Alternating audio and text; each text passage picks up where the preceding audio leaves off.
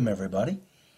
What this video is going to be is going to be an overview, basically a voiceover of the clinic I provided at the Allegheny Western Division 12 mini meet in Erie, Pennsylvania uh, back in September of 2019. Uh, I gave this presentation on power transformer basics for model railroaders and the reason behind it is I've seen a lot of transformer models, a lot of loads on cars, uh, even in substations, and they're really not prototypically correct, especially when you get into the era that a lot of us tend to model, the transition era, you know, late 50s or 50s into the early 60s and whatnot. Uh, the transformers that were in place, the manufacturers that were in place back then, a lot different than nowadays. So I figured uh, to help my fellow model railroaders, and since I was interested in it myself as I work on this for my layout, and the research that I'm doing is certainly helping me learn as well, was to present a, actually this is gonna, probably going to be a series of clinics that I provide over the years. And at the end, you'll see kind of my proposed, my proposed, excuse me, thank you very much for that interruption, for the my proposed uh, series of clinics that I'm working on. Uh, a little bit of background on myself. You know, why should you even listen to me? And that's a very good question. Uh, I've been in the transformer business for most of my career, uh, about 25 years or so now. I started out as a uh, medium core form design engineer for Westinghouse in uh, Green Tree, Pennsylvania, where I worked with a bunch of the ex Westinghouse Sharon design engineers. They trained me. Uh, they had just moved down. The Sharon plant had recently closed all the operations had moved out to either Muncie or St. Louis. Uh, they had also, Westinghouse at that time in 1987 had just purchased the GE large transformer operation out of Pittsfield, Massachusetts. So several GE engineers were also on board. Uh, was there for three years, being the medium core form designer. And then, at the time, long story short, but the ABB had, had then purchased uh, that particular Westinghouse business, and they wanted to move all their engineers either to Muncie or to St. Louis. Well, I had family ties back in eastern Pennsylvania, a military obligation with the Pennsylvania Air National Guard. So basically, okay, hopefully that goes away for good now. so basically, I didn't want to move out, out to the west or Midwest. I got a job with GE at our Philadelphia service facility where we did repair work and I was a transformer repair specialist. I was there 10 years, repaired all types of transformers. We basically brought them in, tore them down, uh, rewound coils, made tank modifications, uh, integrated new load tap changes, did all kinds of cool work on transformers. Well, at the end of that stint, I did have a little bit of a break and went to work for GE Transportation up in Erie, Pennsylvania, for a couple reasons. And basically, they wanted me to move to Atlanta and I wasn't really hip to that jive. So I said, nah, I wanted to stay with GE. Uh, enjoyed the, the, company, and again, had my military obligation, family members in uh, the eastern part of Pennsylvania. So I went up to Erie, worked for GE Transportation for a while, then came back to the transformer business and been there ever since. Uh, and now I work in a more strategic role with all of the various uh, repair facilities across the United States. So, with that behind me, again, I will caveat it, I'm no expert. Uh, I've been in the business. I've seen what I've seen and can talk about that. Certainly don't know everything about all transformers, all manufacturers, all types. Uh, I'm not a power systems guy, so I don't have a, you know, a lot of background in the actual use of these uh, pretty cool devices in the systems themselves. That's where the power engineers, power system guys come in. And basically, I'm, I'm, I was involved in the inside of them, you know, tearing them down, ripping them apart, and fixing them again. So, all right, so what this is, is a prototype guide to the construction, types, and manufacturers and the major components of large power transformers. Now, my focus is in the mid to late 1950s, the Westinghouse facility in Sharon, Pennsylvania. I'm actually going to have a model of the Westinghouse, and there's a lot of mother's license in this. It's not going to be super prototypical. I just don't have the room for it. But I do. I am going to have a transformer factory on my layout uh, and it's going to be based on Westinghouse and Sharon, PA. So that's the, the era, uh, the vintage, and the information I'm interested in. So that's what this is going to start to cover. All right, so what's going to be in this in this clinic? And it's not going to be technical. Uh, you know, since this is on my YouTube channel, this may get out to a little broader audience than a bunch of model railroaders. So people out there are probably going to know more than me. This is by nature general, not specific. Some things here I'm sure you could add a lot more details to. I know that, but again, it's more geared just for some general knowledge uh, for model railroaders to understand the transformers and the, and the systems that they, that they serve in. All right, so we're going to cover what a transformer is and what it does. Uh, a real brief grid overview just to give you a background of where these transformers actually fit in the power grid. We'll talk a little bit about the different transformer types. We'll go back into the, again, to the mid-50s era and talk about the major manufacturers that were manufacturing transformers in that era. Then we'll flip kind of the next topics are kind of modeling based, uh, what major components are on transformers, and then uh, you know considerations for modeling those components, and also some other things modeling wise that you should be aware of. Uh, again, era specific to the, to the mid late 1950s. We're not going to talk about small distribution units, instrument transformers, pad mounts, pole mounts, etc., etc. There's a lot of different types of transformers out there. I'm talking mainly uh, the power transformers uh, in the in the uh, utility system or a large industrial complex. And again, why? More for everyone to get kind of an awareness of the use and some era specific considerations for transformers, either as loads or in substations uh, slash industrial settings. All right, what is a power transformer? Well, very, very simply, it's a device that transforms voltage and current from one level to another. This can be stepped up or stepped down. They can be single or three phase. They can be core form or shell form. And they're used in utility systems and for industrial applications such as chemical plants, steel mills, etc. Uh, there are mobile type units that are trailer mounted for emergency use by utilities, which are really cool. Um, and I'm probably to have a separate clinic just on those because they are so unique and they are and they are to me really really interesting. But those are the other type of units that we may cover at some point in the future. Okay, what is not a power transformer? I, I got a kick out of this. Up here in the upper left is a three-phase oil circuit breaker. And just because it has bushings on it, I often see either in posted photographs or even in the modeling press that, oh, it's a transformer. No, that's an oil circuit breaker. This is a generator. This is some type of vessel. Uh, again, it's a Westinghouse vessel. I don't know if it's for a nuke plant or what it's for, but it is some type of large vessel. These are sort of transformers. These are small 75 kVA regulators. Now this here is a mobile. As you can see, it's a trailer. It, is, it happens to be shipping out of the Westinghouse plant. So that actually is a transformer, basically a mobile substation on wheels. Now this is Optimus Prime. Now he's cool. He is a transformer, but that's not really what I'm referring to when I talk about a power transformer. All right, an overview of the grid. Again, very generic. If there's any power engineers out there, just relax. this is by nature kind of a, just a real brief overview. So basically, you start off at the power plant. Power is generated there mostly in the 13 to 24 kV range. That's the voltage out of the generators and they are then attached to what's called a GSU or a generator step-up transformer. That steps up the voltage to the transmission level, which can be anywhere from 230 to 765 kV, and some higher. I believe they're getting up to a million volts in some places, maybe even more. Again, I'm not a systems guy, but I believe they are trying to increase this upper range of the voltage. In amongst the high voltage transmission lines, you can often see auto transformers, which are used very often, in my experience, as it's like interties.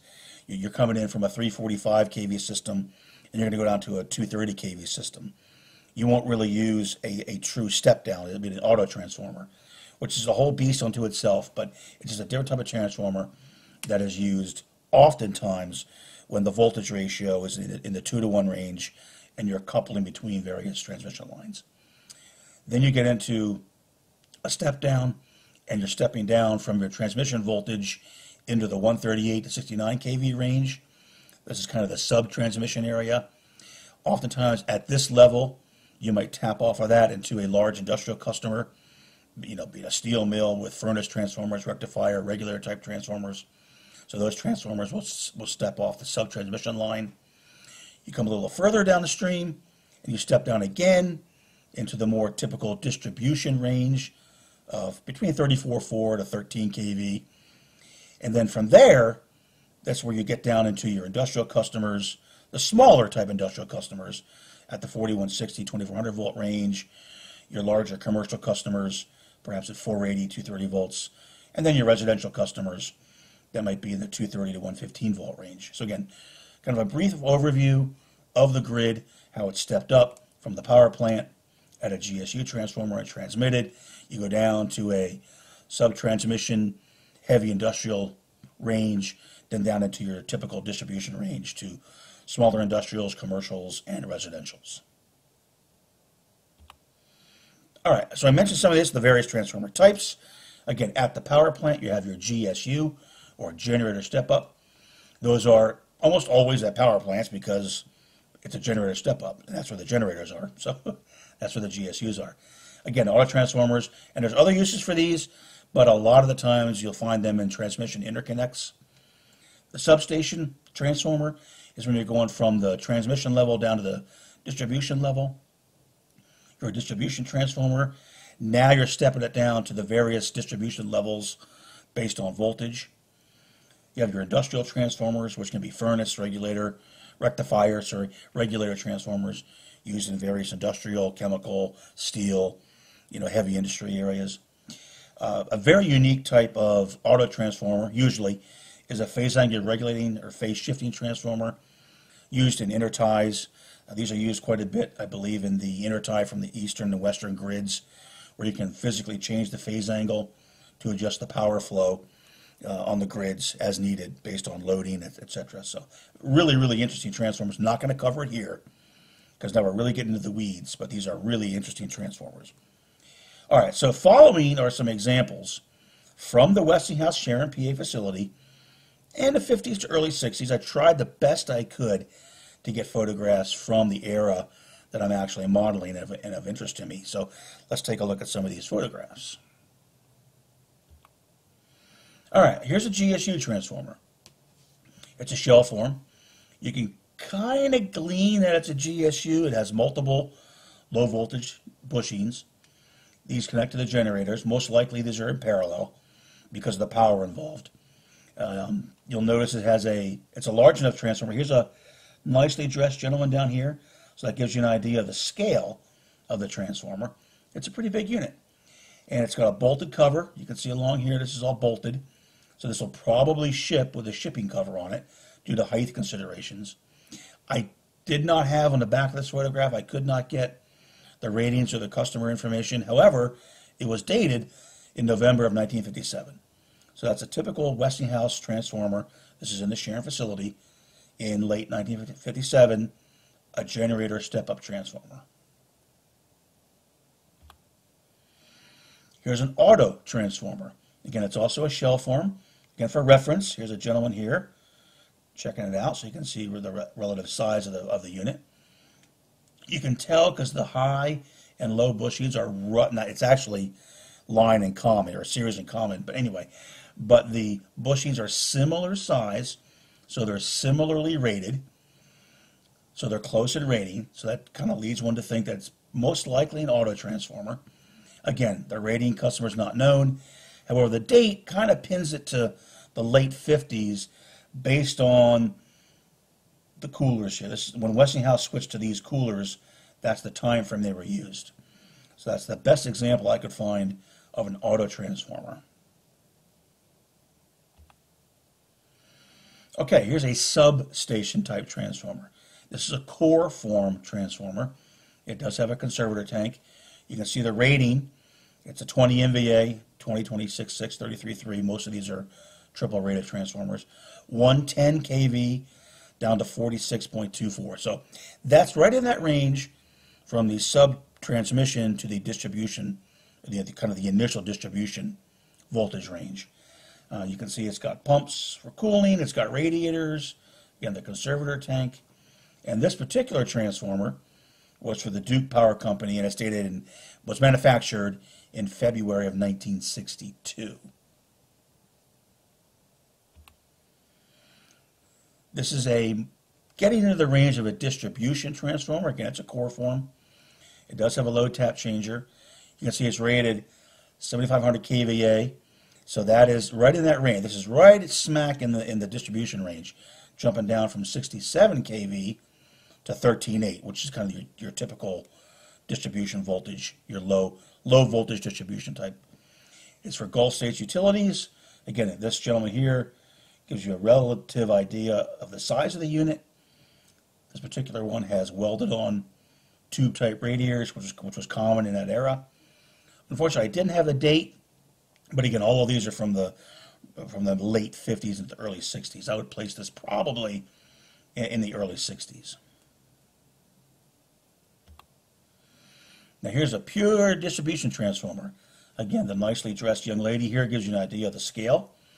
Uh, it's it's a smaller type transformer. Actually, I know people say that's big, but in, in my world, this is a very small transformer. Um, it's 1,000 kVA, three phase, stepping from 13.8 to 480.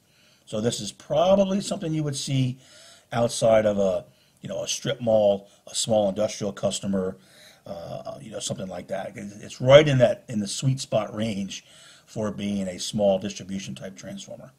It's going to United Engineers and Contract Constructors. They were probably a sub, you know, that was building some type of infrastructure that needed transformers. So that is a real good example of that size and type of transformer. This is a power regulator for Virginia Electric and Power. It's a core form, and you can see from the voltage, it's, it's only regulated from 138 to 115. It's not an auto, the back of the photo did call it a power regulator. So it was, it was something they were using. I don't know exactly what. Uh, it's not a huge unit, 40 MVA, three phase, but you can see there's not a whole lot of voltage difference. So it was trying to do something to keep the voltage within a certain range for whatever use uh, VEPCO had for it at that particular time period. This is a furnace transformer for Shea Chemical Company. This is dated June of 1956, so again, right perfectly in the era that I'm interested in. Core form unit, 28 MVA, three phase, 44 kV down to 450 volts on the low. So if you do the mathematics, you'll see there's quite a bit of current on these furnace transformers. They, they actually provide dead shorts right into the furnaces. So these are really robust transformers. Uh, these large looking contraptions here are the FOW, forced oil water cooled. These are actually water cooled, not inside the transformer. That would be extremely bad for the unit itself. But the oil is pumped through these, and then the customer provides cooling water, which is pumped through them because of the large amount of uh, heat transfer that's required. A normal oil cooling with fans and pumps just can't handle it, so they have to step it up a notch, so to speak, and use forced water to draw away the heat from inside the transformer. Very, very common on these large industrial type transformers. A, uh, you can see the scale. There's a nice gentleman there giving us a friendly little wave on this really cool looking C&O flat car. So anyway, so that is a furnace transformer, June 1956. All right, the major manufacturers that in the late 50s whose units you would tend to see on your model railroad, on your rail cars being shipped in substations, etc. This is not all of them. There were more, I'm sure. I wasn't around in this era. So these are the major players that were around at that time period. You have Allis-Chalmers. Allis Chalmers uh, was in Pittsburgh, Pennsylvania. They were in business from, again, these dates are approximate, best I could come up, 1927 to 1975 and they built core and shell form units. GE, obviously one of the major manufacturers, out of their Pittsfield, Massachusetts LTO, or Large Transformer Operation Headquarters. They were there from 1907 to 1987 when they sold to Westinghouse. They built core form. And, and I can say they, some of the old timers told me, I've not confirmed this, that GE did build a few shell form transformers that were used under Grand Central Terminal as part of the frequency conversion for, for the railroad there. So I've never seen pictures of those. I don't know that as fact, but I was told that. But for really, if you think GE, they're, they're all core form. The McGraw Edison Company in Canonsburg, PA, from the 1920s to, I say to present, um, they're not McGraw anymore. Their lineage is McGraw. They're now currently Pennsylvania Transformer Technologies Incorporated in the same facility. Uh, they've been through some ups and downs and closed for a while and been bought and sold a little bit, but they are still there. But back in this era, the McGraw Edison Company was building both core and shell form transformers. Maloney Transformers out of St. Louis, Missouri, was in business from the late 1890s, 1898-ish, into the 60s. They built core form transformers. And of course, Westinghouse, well, probably one of the other major players, you know, GE Westinghouse and McGraw, but probably, you know, GE Westinghouse being the biggest, then McGraw, followed by Allis-Chalmers and Maloney. Okay, so Westinghouse was in Sharon, 1922 to roughly 1985, when that facility closed and the work was transferred out to Muncie, Indiana, and St. Louis, Missouri. Uh, and they built core and shell form transformers. So in that era, late 50s, these are the major manufacturers that you would tend to see on your layouts. All right, let's talk components. Now here we're going to get into a little bit of the nitty gritty of what's on these transformers. Uh, as you go through this, you know, a lot of the models that are out there don't include a lot of this for various reasons. You're starting to get really small, you're starting to get really detailed. But I wanted to give an overview of these components for your knowledge. And if you decide you want to model them, that's great. I'm still learning, uh, working on how to model some of these things, and I, but we'll get there, and that could be in future clinics. So let's kind of run through what we have here. So this is a uh, GE Rome transformer. Actually, it's kind of the one of the better pictures I could find that I was able to point out some of these components. It seems a lot of photographers aren't taking pictures of these for us model railroaders to look at. So imagine that. All right, so this is a lightning arrestor. This is used uh, basically, as the name implies, uh, if there's a lightning strike nearby, it is to it'll flash over. It'll it'll you know uh, shunt the the high voltage away from the transformer itself. This is a, a bushing, a high voltage bushing, not an insulator. I've seen these called insulators. It's sort of what it does, but in, in the field they're called bushings. And of course up top you have a connector, a bushing terminal connector to connect it to the line. In this case, it goes right through the top of the surge arrestor and then out to the line. Many, many transformers in this substation range have what's called a load tap changer. That'll vary the, usually, it'll vary the secondary voltage to keep it steady, uh, adjusting for, you know, drops along the line to keep a constant voltage at the actual load uh, in case there is a load, a voltage sensitive load. This can adjust automatically to keep the low voltage in within the parameters that the customer needs. You'll see there's valves, a lot of valves on these transformers, and I have a separate slide on that coming up because that's that's I've never seen valves on any model transformer yet. These are going to be basically think of any oil filled compartment. You have to drain it, you have to fill it. So it's going to have to have valves on it. So they're a very, very important detail to include. Most transformers are going to have a main control cabinet, which will look like a separate box mounted on the side of the transformer.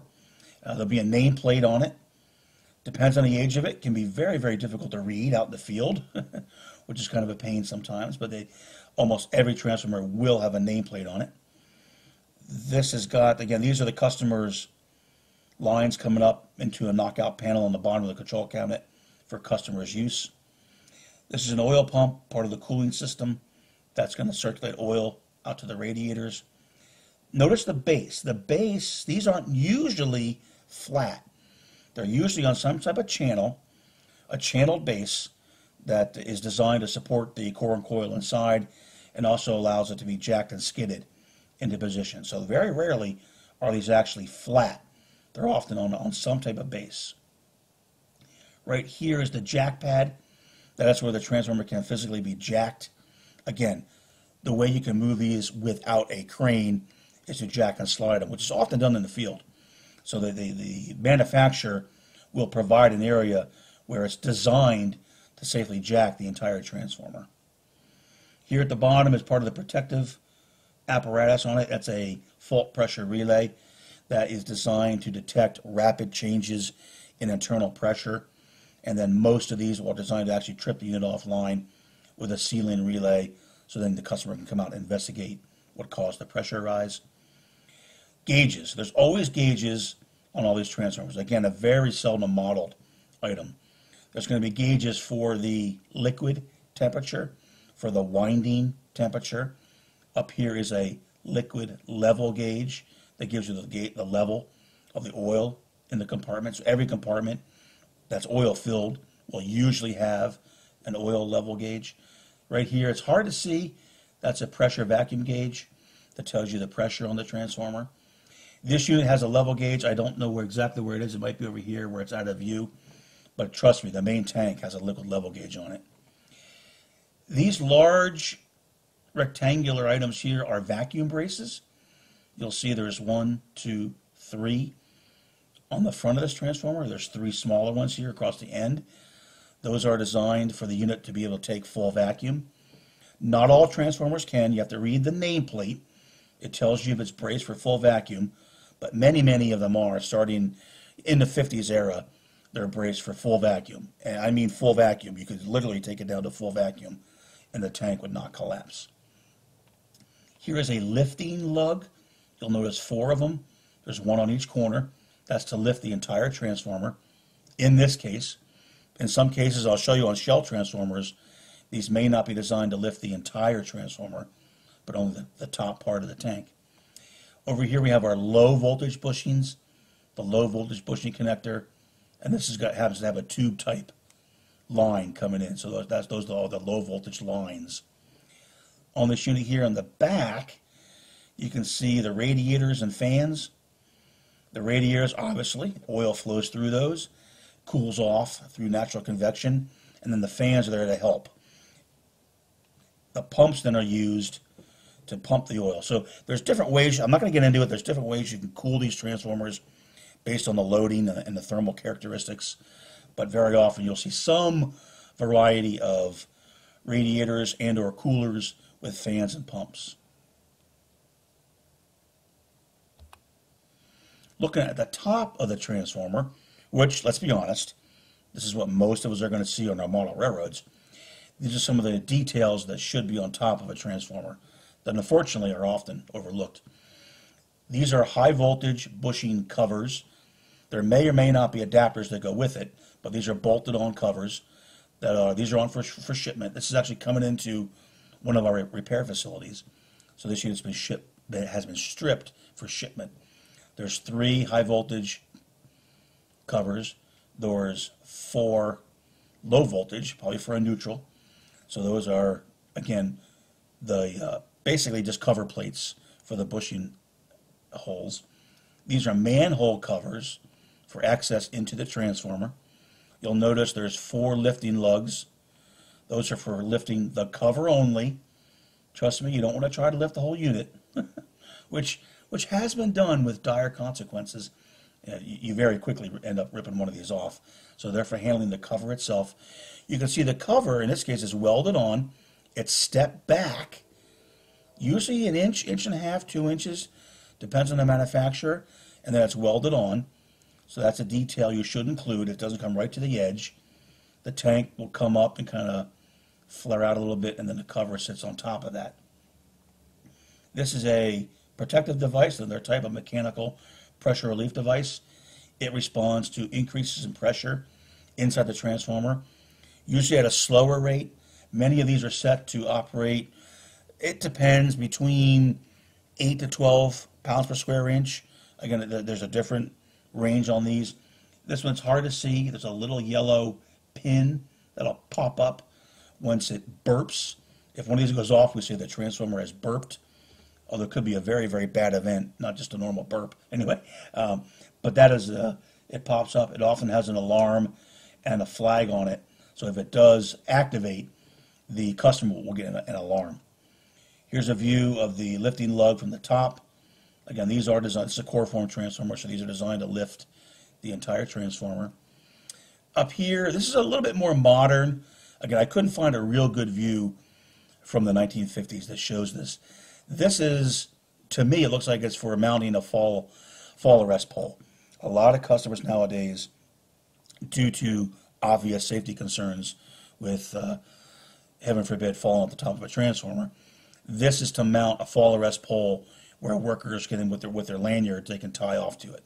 So they're protected from falling off the edge of the transformer while they're working at height on top of the unit.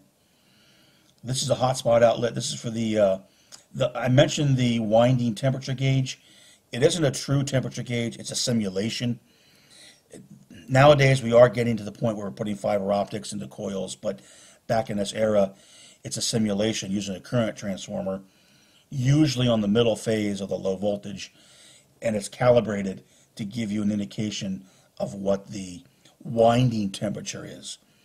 There's some debate as to how accurate they are, but there's some other items. If you see something like that, that's the hot spot. There's a little resistor in this thing that you can calibrate at the factory before you ship it so the gauge reads a simulation of the winding temperature. So that's the hot spot CT outlet. This is the current transformer outlet itself. Many, many of these transformers will have current transformers for customer use, either in metering or relaying, mostly in relaying. And again, they're used by the customers for all types of different uses. They come out, they're wired out to uh, different types of apparatus, to different boards that bring them outside the tank, and then wired down to the control cabinet to terminal boards for the customer's use. All right, some era specific, just to show what these looked like. This is, a, this is an enlargement of the transformer we saw previously. There's the current transformer outlet. That's a typical Westinghouse rectangular plate with small little studs where all the CT wires come out. And the one thing that Westinghouse did that's kind of unique and also kind of a pain when you're working on it is you can see they ran often they ran their wiring in the vacuum braces. That's why these holes are here. That's great, but it can be really hard to deal with that when you're in the field working on it. But anyway, but oftentimes Westinghouse ran them in, in the actual vacuum braces. Again, here are the vacuum braces. This design's got several vertical ones, and actually one across here which is probably more to mount the bushings than anything. But then you can see the six bushings. Here's all their gauges. Here's a liquid level gauge, probably a winding temperature, liquid temperature, and a pressure vacuum gauge. Up here, a little hard to read. It's pretty high on the transformer. Oftentimes these are right on top of the control cabinet, so you can see them. The liquid level gauges are up usually pretty high because there's a little cork neoprene float in there that gives you the level indication, so they need to be high on the transformer. Now here you'll see lifting lugs. Here's a lifting lug here and a lifting lug here. Those are not for the entire transformer. These lifting lugs, and there's four of them, one on each corner, that's to lift this top tank section. This lifting lug is to lift the middle section. And then the base is the base. So when this unit is assembled, the middle section goes on, the top section goes on. This is bolted on here again, in, in the factory for test, I'm sure this comes off when it ships. But again, these are not to lift the entire transformer, just the associated tank sections themselves. The valves. Now, I wanted to bring this out because this is a real important detail that I can't give bonus points to anyone I've seen who, who have modeled transformers, but these got to be on every transformer. Again, any oil-filled compartment, you've got to drain it, and you've got to fill it, and oftentimes you're, you're going to circulate oil to filter and, and condition the oil. So you got to have valves. This here is most likely an upper filter press valve for the top of the tank. Down here on the, on the main tank as well, you'll see, I, I, know, I know it's hard to see, maybe I can, see I can do this here, and I couldn't do this when I was live, but as you'll see, ah, let me go back, go back, go back try to do this just right. Okay, that's the main drain valve. You can see up here what these sizes usually are. They're typical. They're usually globe, although they're both. They're gate and globe. It depends. And some, it depends what the customer wants. But the main drain valve is usually a 3 to 5 inch, usually with a sampler to take an oil sample. That's because you want a nice large diameter when you're draining the entire unit so it doesn't take forever. The upper and lower filter press drains are often in, in the 1 to 2 inch. Same for the upper, I'm sorry, for the uh, upper and lower filter press. And some main drains are smaller in that range, but again, it's going to take a long time on a big unit to do that if you have a smaller valve. You will also see, as I point out here, these are two other oil-filled compartments. So there's a valve up top, and a little hard to see, but there's valves here as well on the bottom. So again, any compartment, at a minimum, you get bonus points if you put a, a valve at the bottom and a valve at the top. And it isn't that difficult to do. At least I know in HO scale, I've purchased several uh, Cal scale, Precision Craft, uh, valve, and they're pretty good looking. And they're right in the, in the right range. At least they're going to be good enough for a transformer. No one's going to come in and pick at you and say that should be a globe valve and it's a gate valve or whatever. Don't worry about it. Just go out and get a valve and put it on your oil filled compartments because the, the poor customer and the field guys need a way to access the oil inside the transformer. Very, very important. All right, so back on the components, looking at this end of the transformer. These are heat exchangers or coolers. There's basically radiator tubes inside here in a bundle. The oil is brought out through this top header. These are valved so that they can be shut. And in theory, taken off without oil leaking out of the transformer. That depends how good your, your gasket is and your shutoff valve. But it, it has been done. Oil is forced through, the fans draw cool air across it, and it cools it out. At the bottom, you have the oil pump. On every oil pump, I shouldn't say that, on most oil pumps or an associated elbow or flange, there's going to be an oil flow indicator. That basically, when the pumps turn on, it just it's it's pump on or pump off, pump on. Just so you know, looking at it, that the oil is flowing. And often we'll have an alarm contact as well so the customer knows that normally the lights will go on or whatever when the pumps turn on. Or if it doesn't, it could mean you have a faulty pump, you've got something clogged, or it could be a defective flow gauge. But normally there is an indication, an alarm contact in these flow gauges. These here, for the Westinghouse design, this is the base of a shell form transformer. This is how Westinghouse lifted the entire unit. That's why they're kind of angled out and as large as they are. They changed their design over time but at this point, that is how they would rig this transformer off these bottom. And it probably also, I can't exactly tell, I have to look at an outline drawing. It may also double as the jacking location for the transformer. So here are the lifting lugs, again, just for the top section. They would be used to take this top section here, lower it onto the base, which is then welded here to make the entire transformer tank. Okay, this is a GE transformer, Mark II design out in the field. This is a, this is actually more of a of a mid late 60s design, but it just shows some of the various components as well, and how they vary a little bit across manufacturers. These are the the uh, GE coolers. See, they look a little bit differently. That is their conservator tank, which is rectangular. More on that in a moment. There's a level gauge right there. Here is the hotspot outlet, lifting lugs for the entire tank in this in this case. That's how GE designed them. Your main control cabinet. As I mentioned, the gauges. It's hard to see. I wish I would have removed this railing, but the gauges are right here. That's most likely your liquid temperature and winding temperature.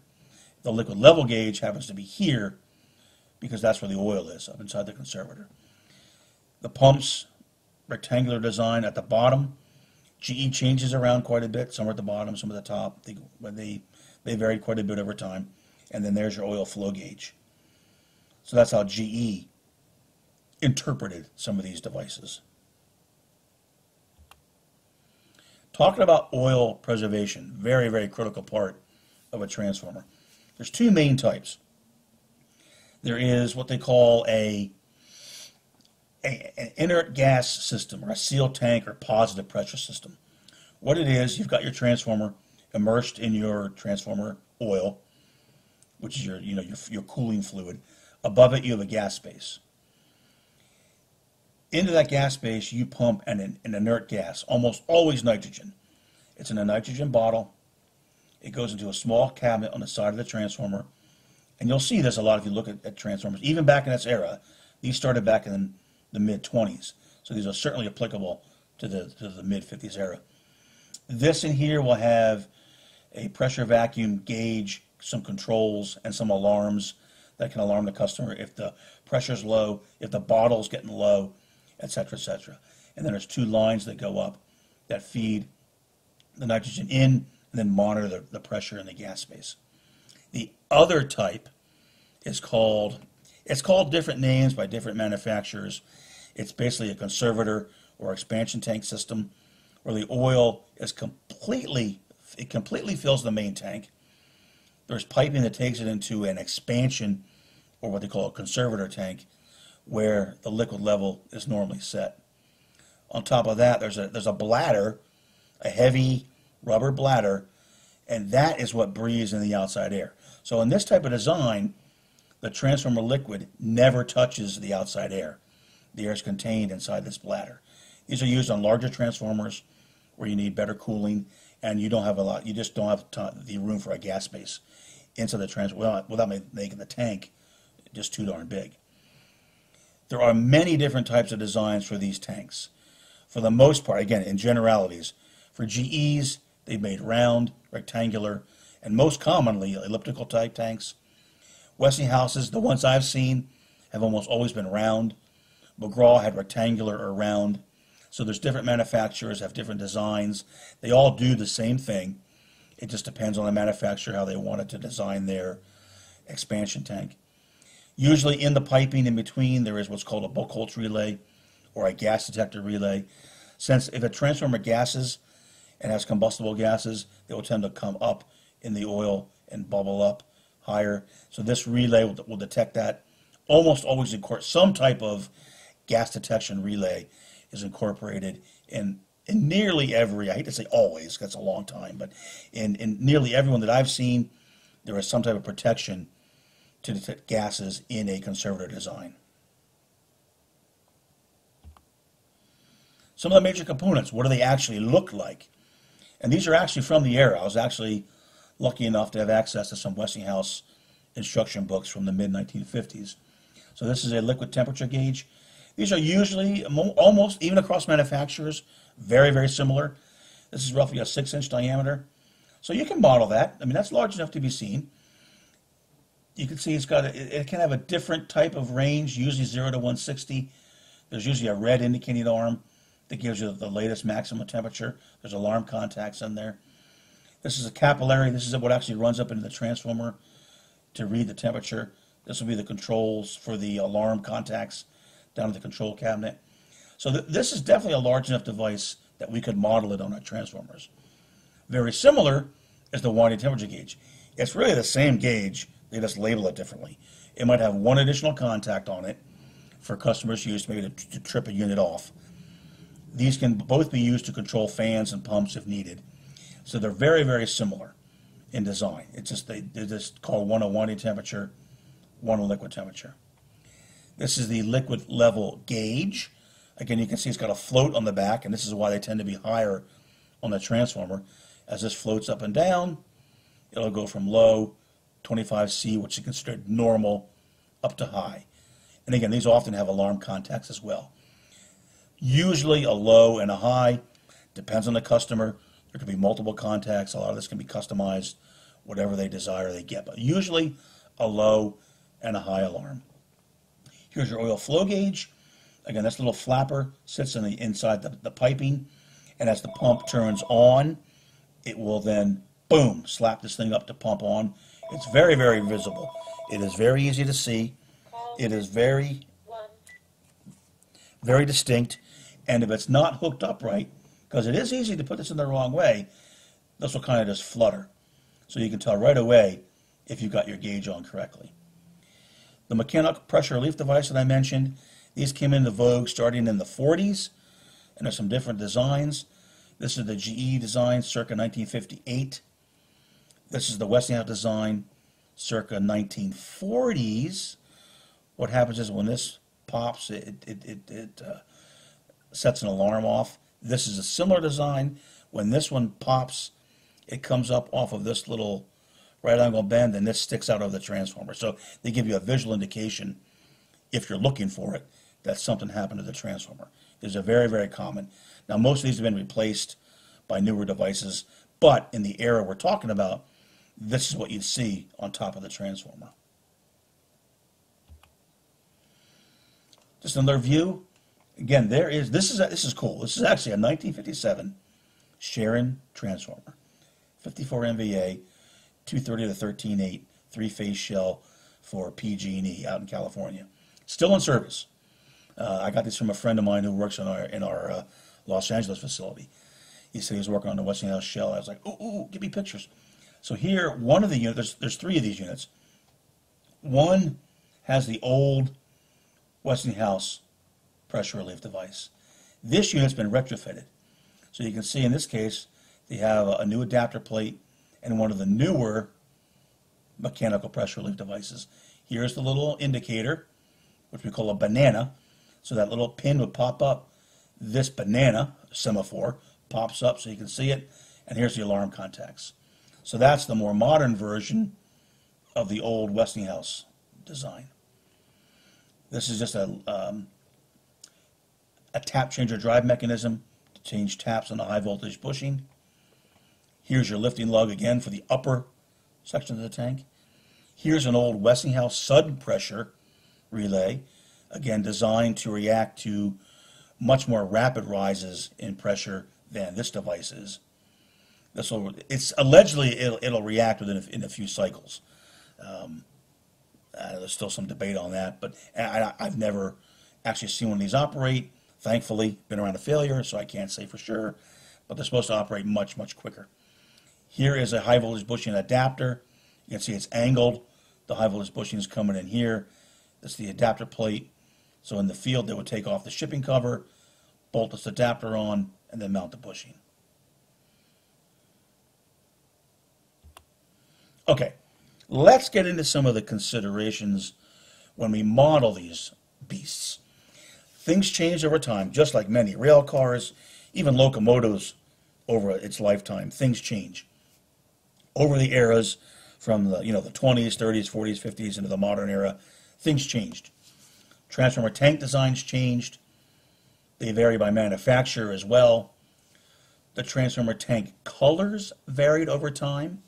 The bushing colors varied over time. I'm going to touch a little bit on core form versus shell form. And I'll talk about one real cool thing that I discovered in my research.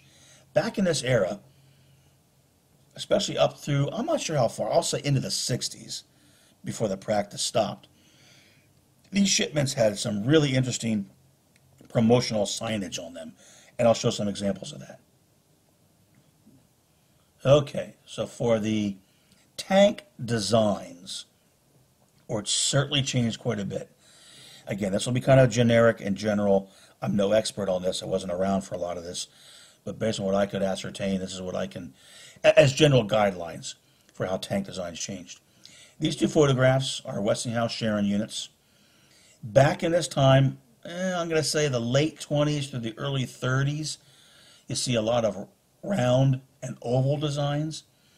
This one here has got all kinds of welded on radiators. I'm not sure how you'd model that.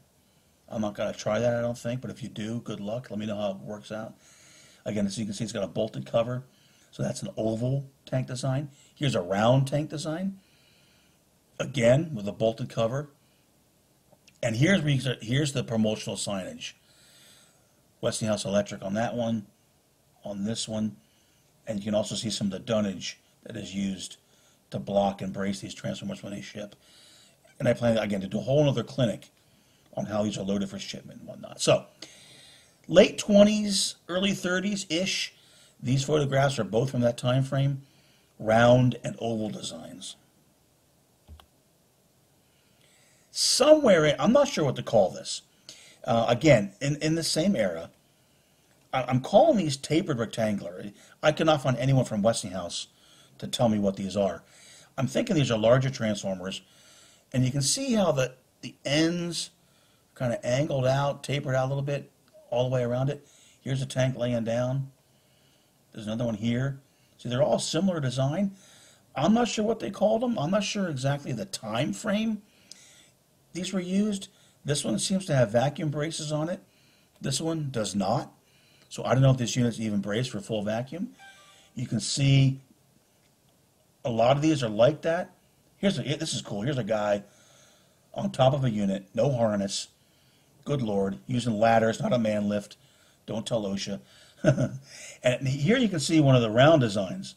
Smaller one here with the weld-on radiator. So both of these were in use at that time period. I just don't know what Westinghouse might have called these or how long it was in service, how long they were using that particular design. But again, you'll see them mostly into the early 30s before they changed their design yet again to, ta-da, this is the typical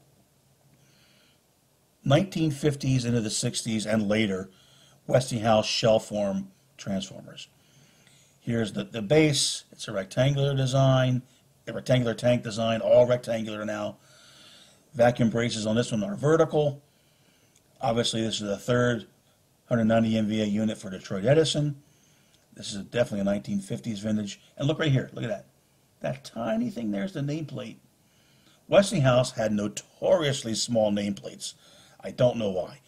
Anyway, this here is another larger transformer. This is for Con Edison in New York. You can see the vacuum braces a little bit more extensive. This has got a load tap changer here off the end of the transformer. This is all bolted on, so this tells me this is a shipping cover. Going into New York City, it probably had a lot of uh, clearance issues to deal with. So they had to give it a shipping cover to get it across the railroad and into the customer location. So you'll see that similar type of progression with other manufacturers as well, going from rounded, oval, to rectangular. Now here's some Allis Chalmers transformers. I couldn't get real good photographs. I apologize for that. These are out of some uh, advertising literature I was able to come up with. This is a circa 1950, again, oval type, Allis Chalmers. A larger unit, hard to tell, but it's rectangular with bank radiators. Here's a load tap changer and their expansion tank on it. A 1940 vintage transformer. That looks a lot like, I'll show you some examples. That looks like, a, uh, I've seen models of this, and that looks a lot like the typical Allis Chalmers unit, larger type unit of that era. And again, here is the Allis Chalmers promotional signage on the transformer as it's shipping. Now for GE, again, it's similar. Here's kind of a, I can't call it oval. It's got more of a, it's got rounded tanks, rounded edges here at the, at the end of the tank. That's a circa 1955 unit, and there's the GE sign on it. They switched to a, almost a pure rectangular design. This is greater than 1958, only because looking at the build date on this on this Erie flat car, it was built in 58, so that places this as 58 or later. And again, there's the GE Pittsfield advertising signage. And again, both units have rounded corners. This one here, you can see, a little easier to see because there's no tap changer on it. And again, this was a little bit different. Here are the coolers. Here's the pumps on top this time. You know, that, that according to some of long-term GE Pittsfield employees, that was about the late 50s when they went away from that design. So I'm, I'm putting this somewhere in the 50s for this particular transformer shipment. And you can see a lot of these shipments have got other crates and goodies on the flat cars as they ship from the factory. This is a 37.5 MV Maloney transformer. This is actually coming into the shop where I worked in Philly. We uh, repaired this transformer, rewound it, put a new tap changer on it. Really cool project. But that's uh, kind of typical of what a 38 MVA, 66 kV Maloney transformer looked like. This was built in 1957 from the St. Louis, Missouri factory. And I really struggled to get any good pictures of McGraw units. Again, this is from some of their instruction books I was able to obtain. This is a shell form unit, circa 1950. This was actually a particular design. One of the guys told me what it was, and I, I, I forget. But this was a period in time when they designed it with a cover like that. This is a core form unit. Again, typical core form, rectangular tank, vacuum braces, radiators, load tap changer here at the end. So these are typical McGraw units from the, eh, let's say, mid 1950s. Now, another thing that changed in, in addition to the actual tank design was the color of the tanks. This is kind of hard to say. Again, I'm going to speak in generalities. For the most part, the most common color I've seen from the 20s through the 60s was what we call a blue-gray color. GE called it that. I've seen it on outline drawings. They specify a GE blue-gray. I've never been able to get any actually color specifics for it, but they call it a blue-gray color. However, there's also what looked to be light gray, maybe even silver. Kind of hard to say. Although I have seen light gray, silver, Berkshire green was a color that GE out of Pittsfield did quite a bit. Uh, tan sand units for units that were moving out to the west uh, in, in the desert region. A black transformer is most likely going to be a network unit. It's very heavy black paint for being submersed uh, in, in the subways and underground. And again, this is customer specified. There's many variations, but in general, in the area that I'm interested in, it's this, this is a GE Pittsfield unit here. It's this blue-gray color. That it's an actual Pittsfield unit. You can tell it's kind of faded coming in, into our facility in Philadelphia.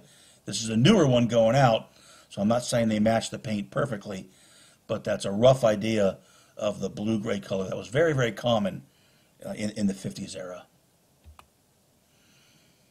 More recently, what you're going to see if you go out driving around looking at substations nowadays, most likely, will be what's called the ANSI 70 light gray color. These are two units painted in that color. This is a repainted Westinghouse shell transformer. This is a transformer from uh, PTTI up in our Stoney Creek facility in Canada. And that's the color nowadays that you're going to tend to see. There are also other ANSI color designations that customers specify. ANSI 49, 61, 71, etc. 71 is, is a dark gray, or maybe 61 is the dark gray, I forget. They aren't used as often, but they are other color designations. But again, in general, most likely you're going to see the ANSI 70 light gray from the late 60s into the present era. Now, along with the tank colors changing, the bushing colors changed. Back in the era from the, let's say, the 20s, 30s, up through the late 60s, they were chocolate brown. And you know, this is the best color I could get. Um, and similar colors were used on Lightning Arresters as well. Uh, it's called chocolate brown, to the best of my knowledge. You still can buy them that way, I believe. But most bushings, after, again, at the same time the tank started changing to the ANSI 70 light gray, the bushings did as well. So here you can see what the bushings look like now, being the ANSI 70 light gray. So back in the era of the 50s, I'm almost confident saying you're only going to see a chocolate brown bushing. You would not see a gray bushing back into, into the 40s and 50s. In the modern era, you're most likely going to see gray, but there still can be some brown ones out there. If the bushings are fine and they're working, customer leaves them in place, maybe one of them goes bad, has a high power factor, they pull it out, swap it with a new one. So you may see one brown and other gray on the same transformer after the 1960s. Not uncommon to see that, but back in the 50s, you're probably only going to see chocolate brown. And they are porcelain, so they're a glossy type finish. They're not a flat finish. This is kind of shows a, I kind of intentionally left that one in there because you can see a little bit of light reflecting, but they, these are porcelain, so they are a glossy finish on them. Okay, let's touch a little bit on the difference between a shell form and a core form. The shell form unit, um, not as common nowadays in terms of new manufacture. I believe you still can get them from overseas. Uh, Mitsubishi at one time was making them in the States, but I believe they've stopped. So they are out there. Uh, they're very labor intensive, but they're also very, very robust transformers. And the spotting features of them are, start over here, there's a base. This base is where the unit is actually assembled. The core is actually built right on this base. And here's the base when it's assembled. So you'll often be able to see it if you're looking.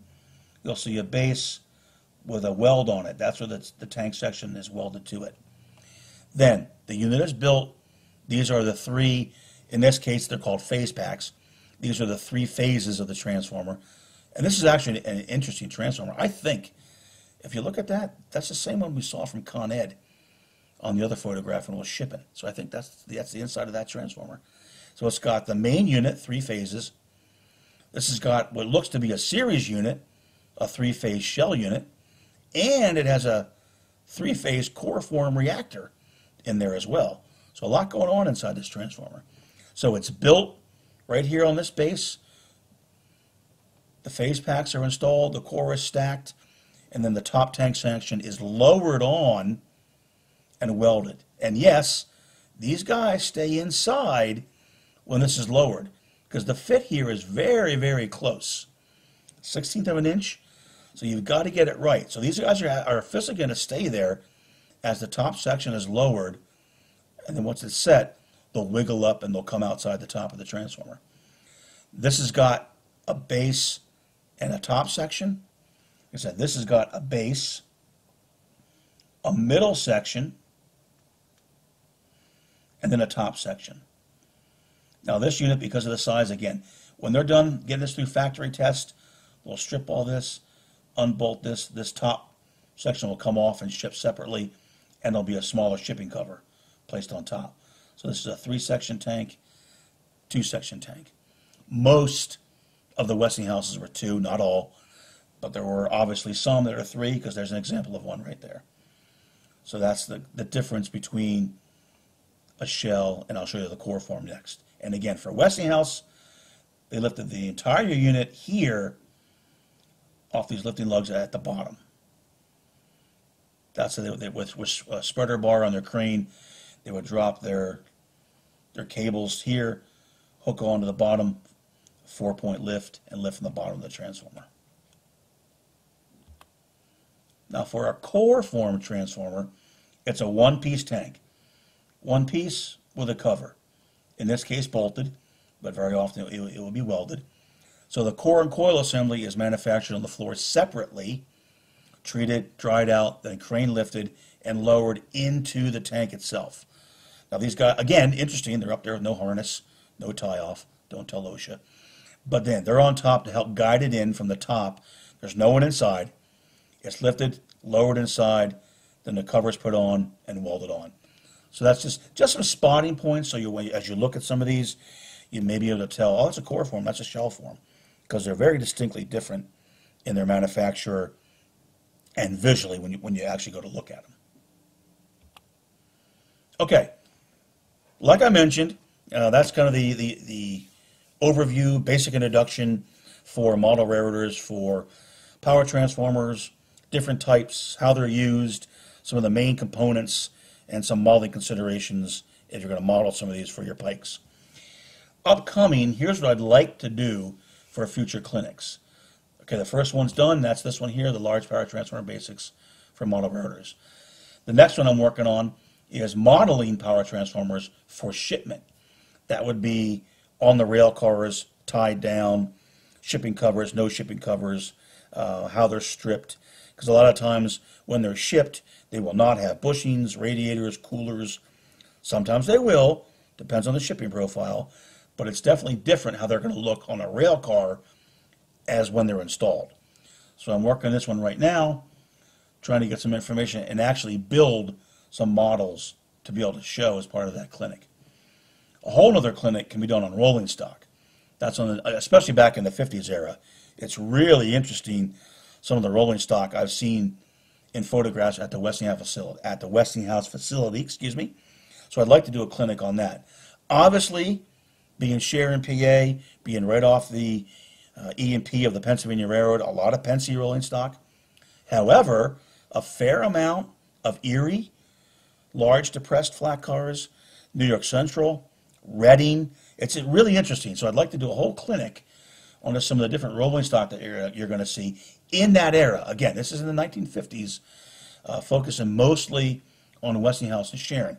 If you were modeling the GE facility, or if you were more toward New England, you're probably going to tend to see more New York Central, New Haven. Uh, although we saw a picture of, of an Erie car at the Pittsfield factory, so just a slight variation depending where in the country you are and what railroads tended to serve that particular factory.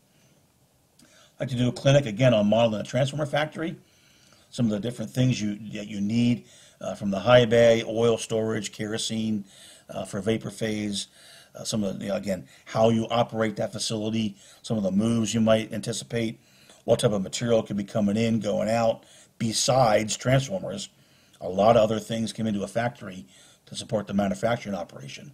So I like to do a whole clinic on that. Do one as I get to it, actually in a substation. I do have some pretty cool pictures of 50s vintage substations. Again, Westinghouse related, but they look kind of different from nowadays. So it's kind of interesting to see that. So I would like to do, again, a, another clinic on modeling a substation in the 50s era. And again, I, like I said, mobile units, really cool. Have some really, really interesting photographs from the Westinghouse Sharon plant of mobile units. They must have done a lot more than I thought. Uh, a lot of them shipping out on rail cars, so it would make some really interesting loads and models to have. Uh, a little bit further out, uh, I need to get through some of this other stuff first, but I would like to do a clinic on modeling mobile units. And again, all focused, late 50s, Westinghouse Sharon facility. Um, and as you're watching this, you don't need to know that, but I will uh, post videos of the progress uh, and advise how things are going on the clinics and as I'm working on the factory on my YouTube channel. But you're watching this video, so at least you're aware of the YouTube channel itself. Okay, that's it. Now, I know you can't ask questions because I'm not doing this live with you guys. But if you do have questions, go ahead and put them in the comments. Let me know what you think. Interesting, not interesting, boring. Uh, do any of these clinics interest you uh, that I might be working on? Uh, I'm still going to work on them most likely. Uh, there seems to be some interest in that. And I'll try to answer any questions that you may have. Um, I'll come back to this, but note my email. Go ahead and note that down because what, what I'm going to show you now, at the clinic, I actually provided a handout. And I'm just going to show you what that was. So bear with me here. Now, this is, again, not all-encompassing. It's somewhat general. But I wanted to, pro to provide the folks that went to the clinic with some general information to kind of help guide them as they're working on the transformers. So we cover here, again, era-based information, manufacturers, kind of who they were roughly throughout the era. And you can see a big shift from the domestic manufacturers to the foreign manufacturers, including from China, Korea, etc., and of course from Europe. So nowadays, there is almost no, in fact, there is no transformer manufacturing facility in the United States that manufactures new transformers. That is an American company. Information on the tank design, again, how it kind of changed over time, the tank color, the bushing color. Some of the rail cars that were used, again, I'll cover that more in the other clinic, but, you know, obviously back in the earlier days, they had flats, they had depressed flats, they had well cars. The Schnabel cars, for those interested, the first Schnabel car, WECX 200, came about in late 1957. That was the first use of a Schnabel car out of Westinghouse Sharon. Then, of course, GE came up with them. Um, so there's over time, and they had additional cars built, and uh, there's more heavier flat cars. Uh, the Schnabel cars tended to move away from the manufacturers to private carriers. Still several out there. Very interesting. A lot of good websites cover some of these. But back in the area I'm in, I'm actually going to do, I do have a model of WECX 200. It's a resin kit. And I got some cool pictures. I can hopefully detail it pretty nice. So back in that era, that's, that's what you tended to see in, in the 1950s. Just note on the oil preservation, seal tank, nitrogen back in the 50s. As you got into the 60s, the conservator tanks became more and more in vogue. And nowadays, you'll see a mix of both. So informational notes on the components, what's usually removed for shipment, what uh, is usually on the unit for shipment. Usually, again, this, this can change based on the shipment, where it's going, the size of the unit, the clearance profile, etc. Here's some notes on the actual materials that come into a factory.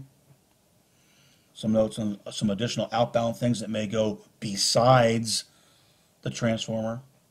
Internal movements in the factory. They often use the flats to move tanks and other items around inside the factories themselves. And then what I did, I went out and tried to capture, I don't claim to have them all, or all kinds of details, but as an overview of the various HO scale transformer models. Starting with the, the one we all probably know about the most, the Walthers prototype, which is a pretty good representation, not a bad kit at all, of a, probably though in the 70s and, and later type transformer. Selley, if you heard of them, that giant transformer of theirs, hard to find, but it sure looks like the Allis-Chalmers. So I think it's a metal kit, which means a lot of cleanup to do, probably be a real pain to assemble, but it would assemble into a relatively close match for an Allis-Chalmers unit in the 1950s. There's quite a few European types, uh, Europe, European prototypes that are out there. This is an NJ International offering a Kibri offering, which looks very, very similar. Here's a large Kibri unit, which I think is a Trafo Union out of Germany design. Very unusual for the United States to have bushings like this. I mean, I'm not saying you never see it, but not very often. Here's an Atlas. I never knew Atlas even made this. Looks very similar to the NJ International and Kibri's. But again, I, I could not find, I found this picture somewhere doing a Google search. I don't know if that kit's still out there or not but it is definitely a European prototype. Artitec has a pretty nice looking, that's a nice looking little load. Now, it is a European prototype, AEG, which is a European manufacturer, but it is based in a little bit earlier era, and it looks good. You, you can buy this whole thing, when I last looked, from MB Klein for 25 bucks roughly, and it's pre-painted, and you may even be able to buy it for a little bit cheaper, unpainted, because I think it's painted. Not bad. It really isn't too bad. Yes, it's European. But if you wanted something to quickly get and have a pretty good looking transformer load, you might want to consider that. Resin Car Works has smaller units, almost look like network transformers to me. Um, just, just the way they look. Uh, they are currently unavailable, but they're not a bad little load as well from Resin Car Works. Item LT1 transformer load, you get two of them looking very similar to those of the old Sunshine models F.1 transformer load, of another flat resin kit. However, again, good luck trying to find these, as uh, unfortunately most of us know Sunshine's long out of business. And, and if you see it on eBay, you're probably going to pay out the nose for it. But who knows? Maybe on eBay you'll find something like that. They're, again, they're good looking, small little units. They sure look to me to be network transformers. Not totally sure. But again, if you can find them, not a bad transformer load. Proto loads has some custom made. Um, it, they seem to come and go. I'm not totally sure on the availability or how often they are available. They look pretty good. Uh, they call them a GE unit, but to me they don't, they don't look like GE units. Uh, they would likely be a Rome size transformer, um, but you might want to check their site and see what's available. Shapeways is coming up with some different designs. Now these designs on Shapeways are fairly basic, but not not too bad. A little more modern, uh, a little rough around the edges sometimes. Uh, but if you wanted something, painted it up, especially if you put it in the substation in the background, uh, would probably look pretty good. Uh, obviously, there's no bushings on them or anything like that, but you may be able to, to steal some from one of the Walthers kits. Uh, again, some of these are a little bit rough, um, more modern in design, but you can see this one here even has a nitrogen tank. This, I, I assume, is supposed to be a load tap changer. Doesn't look quite right to me. Uh, looks like there's three bushing potential devices slung on the side, which would be very, somewhat unusual, but you always cut them off. So not bad. And I'm sure over time, more things will likely become available on Shapeways. Also on Shapeways, and I've also seen this at some train shows, is this circuit breaker. Again, it's not a transformer, but it is a neat little uh, looking load. Fairly accurate. I'm no expert on oil circuit breakers, but it would be a good representation for a load or in a substation. Almost every substation is going to have some type of large OCB, so it's not a bad little item to have either for uh, you know, an, an ancillary load or for modeling the substation. So this is, again, brief overview. It was a handout at the session. If you're interested in it, again, here's my email. Shoot me a note. I'll be glad to send it to you. I'm going to try to keep this updated as much as I can as new things come on the market and whatnot. But just a brief overview of some of the available models I've seen and some generic information. Again, high level, somewhat uh, uh, generic, not really specific, but just to give you an overview of the various information out there for, for modeling transformers on your layout. So, all right, so that's it. So hopefully it was somewhat enjoyable. Maybe you learned something. Uh, again, I'm going to start working on you know, other clinics. Um, let me know what you think. Any questions? Any ideas for things you'd like to see? Uh, be sure to let me in, uh, leave me a note in the comments or drop me an email. Uh, looking forward to it. This is one area I really, really enjoy. So I do want to press this forward because my biggest pet, I'll close with this. My biggest pet peeve, you know, we as modelers are often really, really good at modeling rolling stock locomotives. We know down to the the third rivet from the left-hand side and the paint scheme that changed on May 3rd, 1958. We, we know all that stuff. And I've seen some very, very nice depressed flat cars, modeled, weathered, detailed. Again, they know where the brake pipes are, and this goes here, this goes there. And then they slap a European prototype on the 1950s era flat car. I'm like, oh, come on, please. So again, part of what I want to do is to expand the knowledge. So if you do have one of those beautiful flat cars, you can put an equally beautiful and prototypically accurate transformer on that flat car and have a really spectacular model. So thanks for watching. Uh, again, uh, shoot me your comments down below or shoot me an email. And uh, look forward to making some more clinics. Hopefully, uh, keep working on that and get them posted in the near future. Thanks, everybody.